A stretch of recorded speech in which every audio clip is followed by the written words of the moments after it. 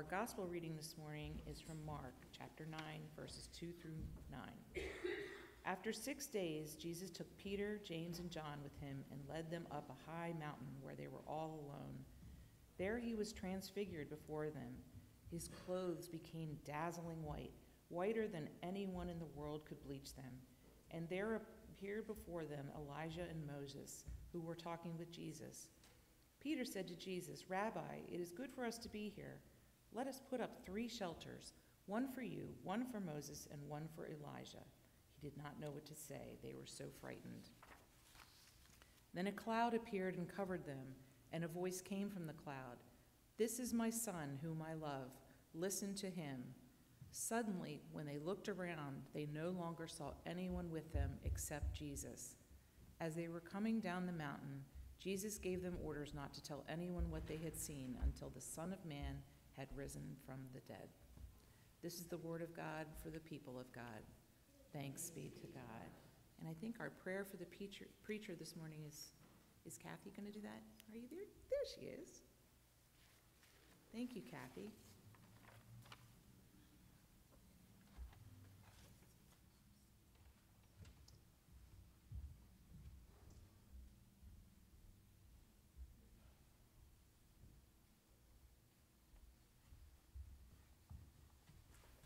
Good morning.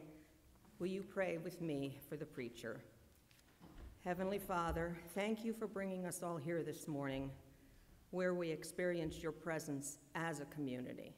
We pray as one voice that you will bless Tobi as she honors us by offering the sermon this day. Let her preparations bear fruit as her words reach our ears and our hearts, so that we may be good representative disciples for Jesus as we go out from this service with love into the world, our mission field. May you also bless Pastor Terry in her Sabbath leave. Please help her to appreciate the richness of this healing and recuperation time. Please grant this in Jesus' name. Amen.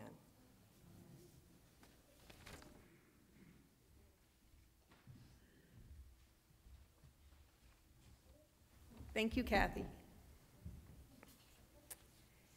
In the scripture shared today, we hear about transfiguration and about the desire to live in a place where God's love is abundant. Mark tells us after six days, Jesus took Peter, James, and John with him and led them up a high mountain where they were all alone. And there he was transfigured before them. So, what does it mean to be transfigured? Well, transfiguration refers to a complete change or form uh, or appearance, often from something ordinary into something more beautiful or spiritual. You can imagine a caterpillar transforming into a butterfly. That might be a good example of transfiguration. When Jesus was transformed, his clothes became dazzling white, and suddenly he was among others who exemplified the best of God's people.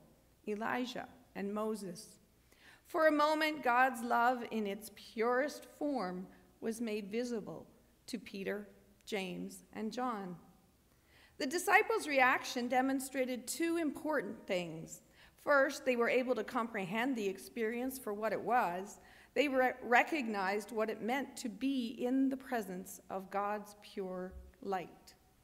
Secondly, they wanted to stay in that place. They wanted to build houses for Jesus, Elijah, and Moses, and to live among them. They wanted to live in God's pure light, in His pure love.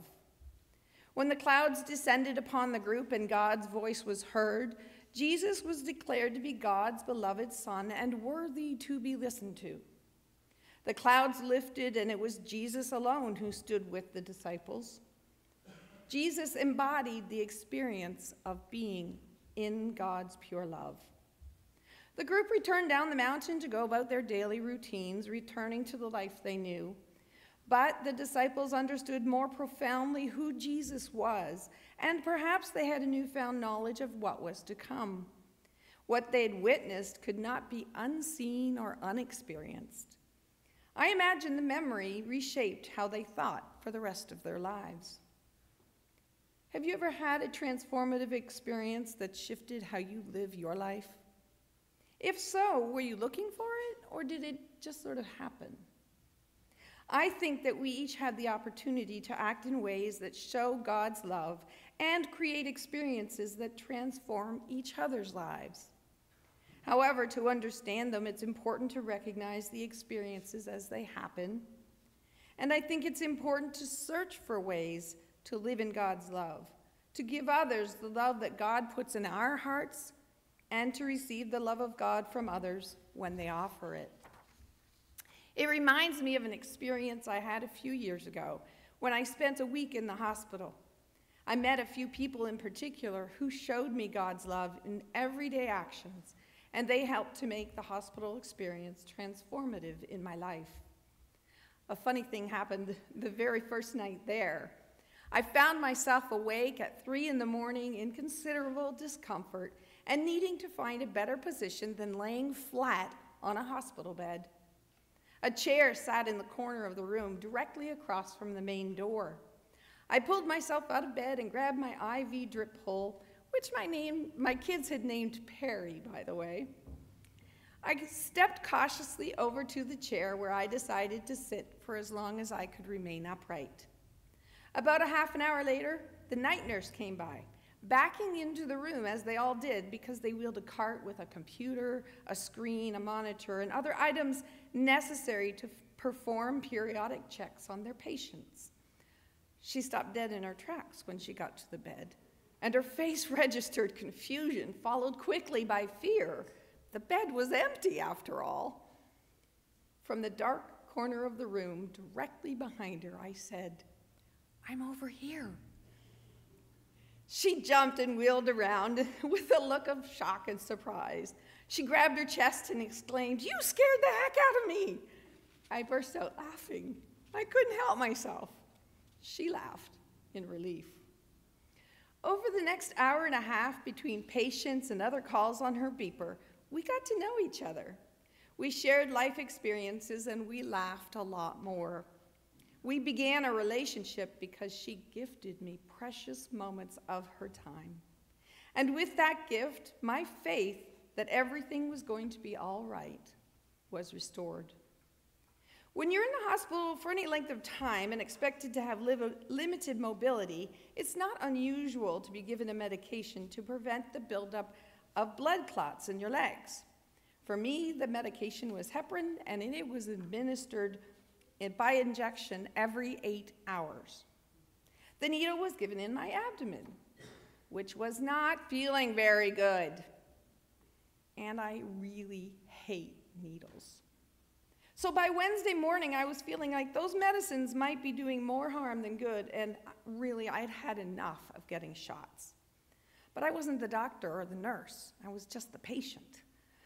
So it took a lot of nerve, but I finally asked if I could skip the injections. The nurse seemed surprised. I don't think she was used to being asked not to administer medicines when they're prescribed by the doctor. I reasoned with her that I hadn't really been flat out on the bed very, very much anyway. In fact, I'd spent hours wandering around the hospital floor in the middle of the night because it was so uncomfortable to be lying down. Along the way, I studied the architecture and the plants and how things got together, looking at other people and other things, anything to keep my mind occupied when sleep was elusive. The nurse looked at me. I think she finally saw desperation in my eyes. I really didn't want another needle. She paused and considered everything, and to my surprise, she agreed with me. She said she'd skip that shot this time because I was pretty mobile. She couldn't pr- promise that I'd be so lucky the next time, but this time I was safe. She smiled. I smiled. And in that moment, as she considered my wishes, she gifted me moments of her time. She really listened to me. She allowed our interaction to help make a decision that made me feel like I was more than just a patient and she the nurse. Her gift of time gave me a renewed sense of hope that I was actually in control of something. In a week where everything seemed out of my control my body, my food, my sleep, my situation in general. She helped me believe in me again. On Friday morning, I was scheduled for yet another CT scan to determine if anything had changed in my condition. I already had a CT scan and multiple ultrasounds when I was admitted on Monday. I really hoped that the CT scan would be clear and I could go home. The transport person came and took me by wheelchair to the radiology department on a different floor. The CT scan was completed and I waited for transport personnel to take me back to my room. I was carefully tucked in an alcove out of the busy hallway to wait. As I had through the week, I found myself talking to none other than Perry, my IV drip. A few minutes later, I could suddenly hear an elderly woman being wheeled into another room in the radiology department. I couldn't see her, but I could hear her moaning. She complained about various ailments. Her head hurt, her stomach was not feeling right, she needed more medicine, but she thought the medicine was making her sick. She spoke to herself because no one was able to be with her as they prepared to give her tests. My heart filled with compassion.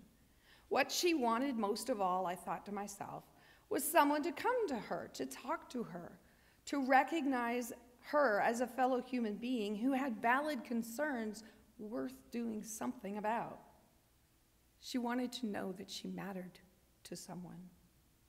Unfortunately, I couldn't go to her. I wasn't in a position to even really have a conversation with her. I didn't know when our caretakers would return, and I didn't want to disturb everyone by calling out into the hallway. A few minutes later, the transport person came and returned me to my room. As I entered through the doorway, I was surprised to see the entire room had been remade from top to bottom. Everything was put in place. The bedding had been replaced with new linens, and the remnant bits of, of paper and trash that had accumulated on my side table were gone. My pillow was waiting and placed invitingly at the head of the bed, beckoning me to take a nap. And the little stuffed puppy that my youngest son had brought to keep me company was placed carefully on the pillow, looking for all the world like he would jump into my lap the moment I got to the bed. I was overwhelmed with a sense of gratitude. My nurse, and really I considered them all my nurses by then, had taken time to reset my perspective. By gifting me precious minutes of her time when I wasn't even there to acknowledge her or her gift, she reminded me that there are a million ways to show that we care for others. Her love for her job, her patience, and especially in that moment, me, was ever, evident everywhere I looked. I remembered the woman I'd heard down the hallway, and I prayed she too had nurses who showed her this love. As I look back over that week, a week that could have been utter misery, I know I'm fortunate to be able to say it was a pretty good week. Despite pain, frustration, and the fear of not knowing exactly what was going on, I laughed a lot, probably more than I deserved. I had an amazing hospital staff caring for me.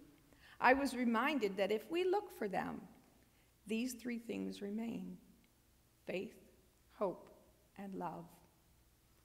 Over the course of my hospital stay, I had time to ponder what's important in my life and what's important in the life of others.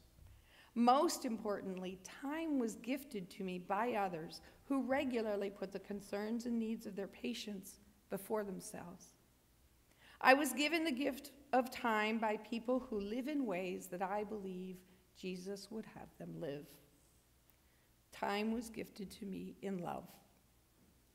The seemingly simple gift of spending time with others can restore faith in the midst of tribulation offer hope for a better future, and demonstrate the everlasting power of love. Don't underestimate the gift of time, especially time gifted to us here on earth by God. Perhaps my hospital stay cannot be considered a transfiguration moment, but it certainly was transformative for me. I began to look more earnestly for the myriad of ways that others demonstrate God's love for me and ways that I could use the gifts that God has bestowed upon me to help others. I think more about what it means to listen to Jesus. I recognize more often the time the times when I'm in the presence of God's pure light. We each have mountains to climb in order to be in the presence of God.